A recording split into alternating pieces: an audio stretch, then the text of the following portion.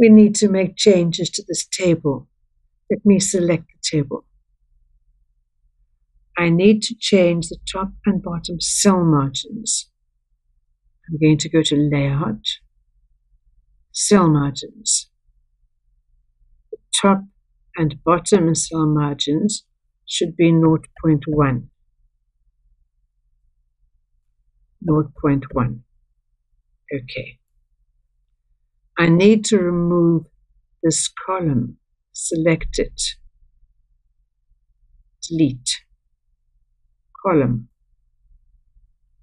I need to swap these columns, grooming and characteristics. I'm going to select that, press Control X, and go there and press Control Y.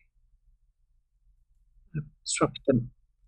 I now need to insert a row after Golden Retriever. Put my cursor in there, in the row, and I'm going to insert below. And I need to insert information about Labrador.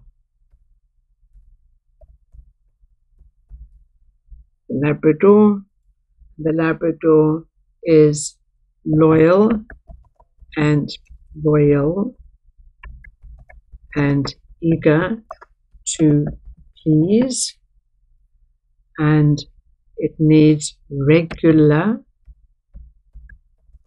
brushing and walking on a leash. We have formatted this table as required.